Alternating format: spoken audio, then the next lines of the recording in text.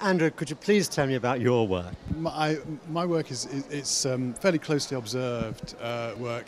A lot of it's based around, we lived in an old farmhouse and uh, a lot of it I, I, use every corner of it actually. It's got sort of, uh, I, I, I'm very interested in the lighting.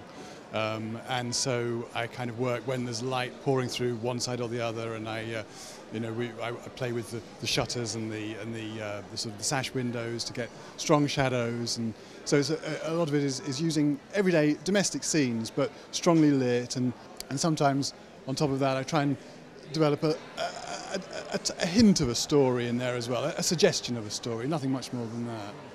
I mean, you must have known that bathroom window quite well. Yes, yes, yes, exactly. I see it every day actually. I shave right next to it every day.